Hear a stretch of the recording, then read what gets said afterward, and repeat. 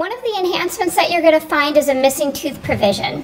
So before there was no provision on there so that if you had a missing tooth um, and you needed correction of that tooth, whether it was for um, a bridge or an implant or ortho work, whatever needed to be done to fix that missing tooth, there was no coverage. So now you do have coverage on that plan, um, on this plan, and so you will be able to have that missing tooth replaced how it needs to be fixed.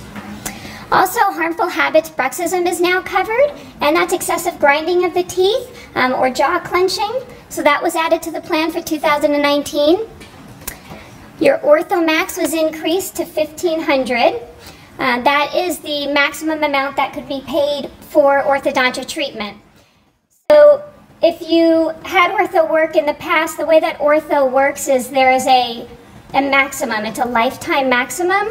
So if it was a thousand before and now it's 1500 you now have an additional 500 for anyone who's had work before. And if you have new work that you might need going into 2019 you'll receive that additional 500 okay? Also your full mouth panoramic x-rays are going from one every three years to one every five years. Um, you also you get your bite wings automatically. You get two sets of bite wings on the plan every calendar year. So this is referring to the full mouth x-ray, which is going from the three years to the five years. Okay, so eligibility, you must enroll in the plan during open enrollment, just like all of your other benefits, and the benefits will become effective beginning in January 2019. Once you enroll in the plan, that's the plan that you're in for the year, and you can't make any other changes unless there's a qualifying event that would justify that change of the tools that we have if you need to get information is this oralfitnesslibrary.com. It gives you a wealth of information. I really encourage you to just take a look before you actually need it just to see what's out there in case something comes up.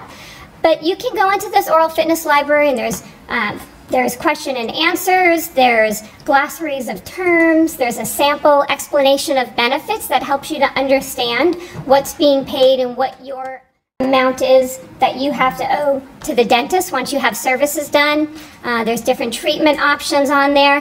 Has a lot of great information and articles to help you through whatever dental service it is that you need to get more information and to help you when you go to the dentist to know what kind of questions you need to ask to make sure that you're getting the best care possible. In addition, you can register on MetLife's My Benefits portal. You'll also have access to that oral health library but this is more tailored to you and the plan that you have. And so it can see your claims. So if you need to view your claims, you can go on there. You can print out an ID card, although you don't need one when you're going to the dentist. It will allow you to print one if you feel more comfortable having that. And you can look, search for a provider. And when you search for a provider, what you're going to be looking for is the PDP Plus network.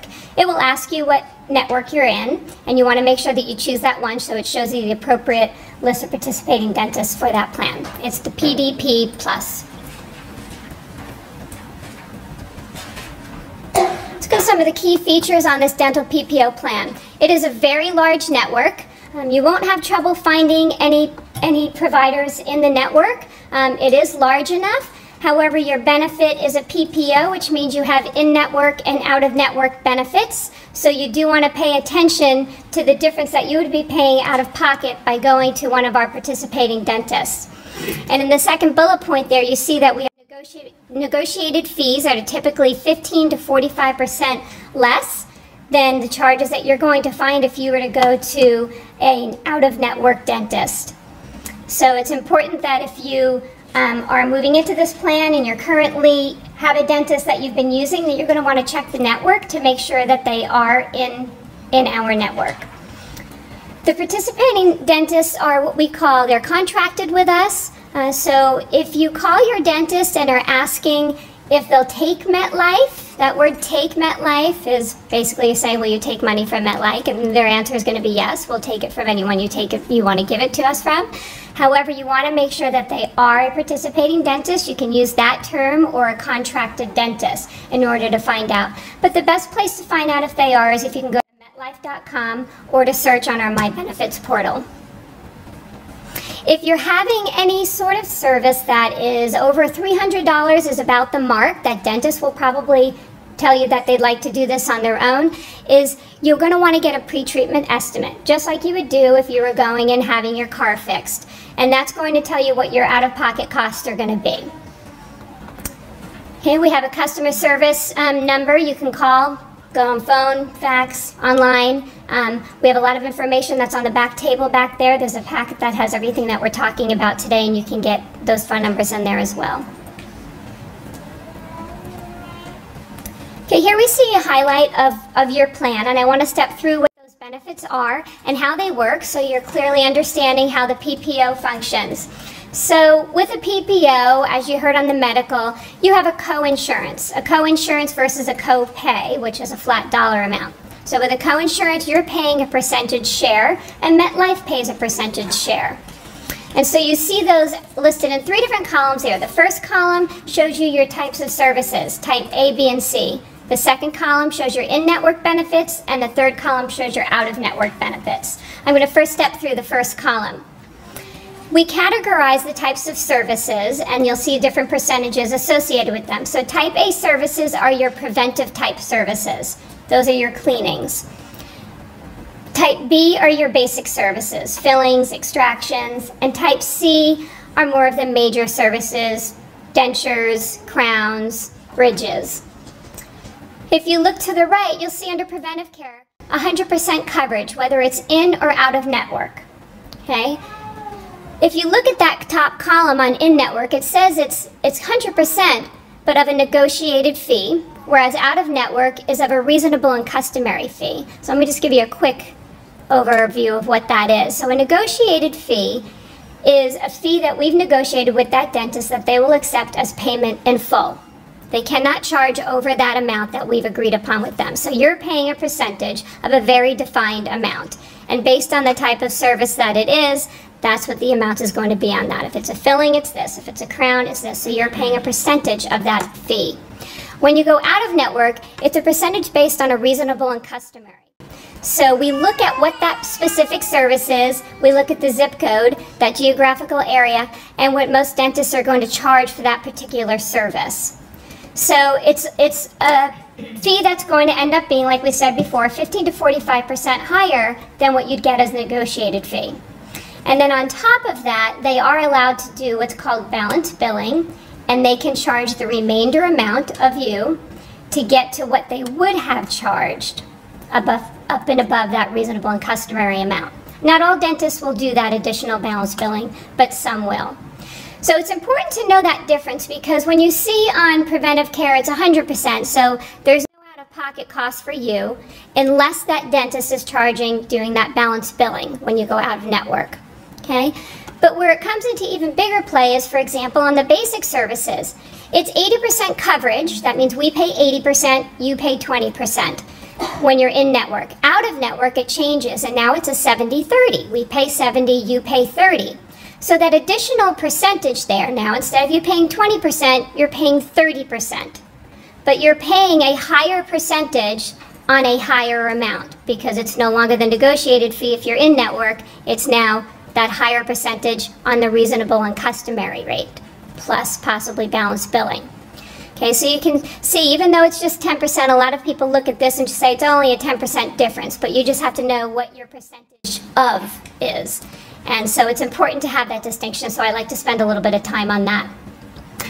Okay, and because it's a PPO plan, there is a deductible on it. And so you see your deductible there is for type A and B services only. And that's the amount that you have to pay before the plan starts paying its co-share. So it's a $15 for individual and 45 for family if you're in network, and then it increases out of network to 25 for individual and 75 for family. And what that means when we split that out between individual and family is that individual component just applies to you. So even though you're covering your family, you may be covering someone more than just you on the plan, you still only need to meet your individual deductible for yourself and then the plan will start kicking in its co-insurance. So if you're in network, it's $15. So if you go and have a filling done and it costs $100, the first $15 is going to be out of your pocket. The remaining $85 of that filling is now going to be subject to the co-insurance. You pay 20% and the plan will pay 80%. Okay? There's an annual benefits maximum on the plan, and this works a little bit differently than the maximum you'll find on a medical plan. On a medical plan, you have an out-of-pocket maximum. That's the most you will pay out of pocket. Once you hit that max, then it's covered 100% for you. When it comes to dental, it's a planned maximum. The plan being MetLife, which means once MetLife hits that maximum, MetLife stops paying on the plan. So as we're paying our co-share and you're paying your co-share, once MetLife's expenses hit $2,000, then MetLife stops paying on the plan and the remainder would be out of your pocket. Okay, it is a per person maximum, so each person in your family that's covered gets $2,000 and that's for the calendar year. And it resets again the next year when you enroll. Orthodontia has its own separate maximum, and this maximum is the one that we said was enhanced this year to be $1,500, and that's again per person. It's both adult and child ortho on the plan, so adults do have access to this benefit. So once we hit $1,500, then the plan won't pay anymore. And remember that on ortho, it is a lifetime max as opposed to a calendar year max, so you get that one time. But like I said, if you were on the plan before and it was only a 1000 max, now you have this additional 500. If you need more work done in this next new year in 2019, you'll get that additional 500 benefit to complete your 1500 lifetime. Uh, the My Benefits portal, we talked about it. You can go on online there. You can see who's covered on your plan, what your plan benefits are, print ID cards, um, look at claims information, look up providers. Like I said, it's tailored to you. If you've never uh, been on it before, this plan is new to you, you need to go on and register. It just takes a couple minutes to go ahead and fill out your personal information regarding your name and all of that, and it'll get you registered into the plan, and then you can access things that are particularly right to you. We also have a mobile app, so everything that we're doing when you're on the go, it's an easy access, especially if you're somebody who's traveling often. You're going to want to be able to access access providers that are in the network and, and view them, so it's great to have the app on your phone.